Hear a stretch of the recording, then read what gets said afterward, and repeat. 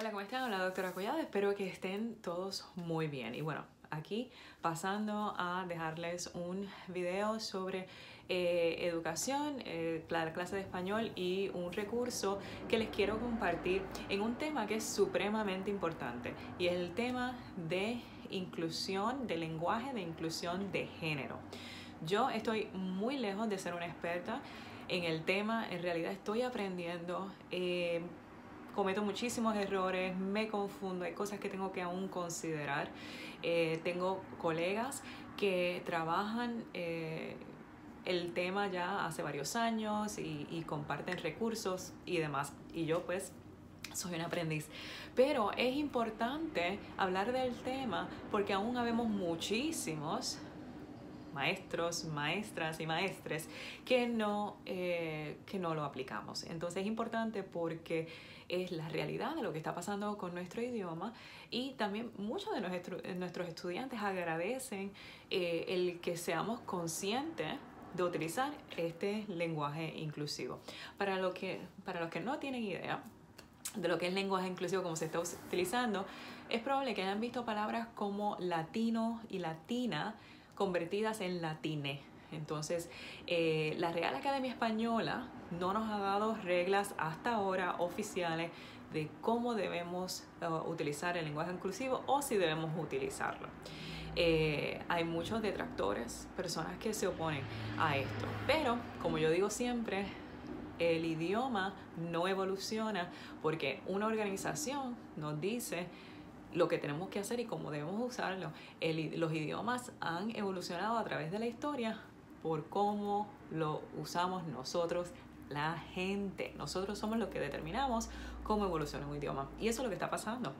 Así que como maestros tenemos una responsabilidad eh, de educar a nuestros estudiantes.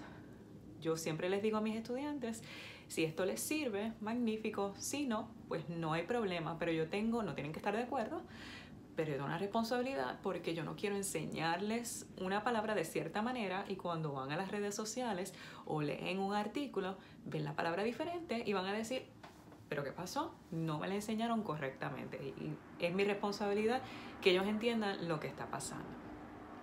Así que hace como un año atrás me topé con una canción de una de mis agrupaciones favoritas de Puerto Rico, Plena Combativa, quienes escribieron una plena específicamente para este eh, tema que se llama pronombres. Y de manera maravillosa explican el por qué debemos utilizar estos pronombres, debemos preguntar de hecho a las personas cuáles son sus pronombres y no asumir. Entonces lo que hice fue que hice una lección suplementaria que sirve para cualquier edad y para cualquier eh, nivel de español.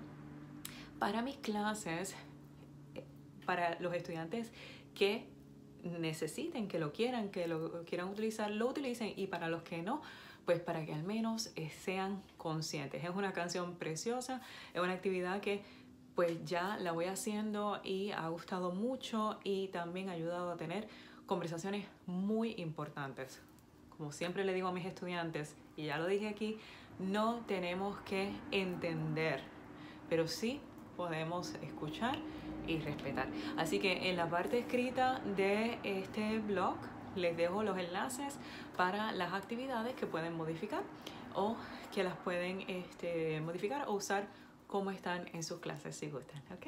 Adiós.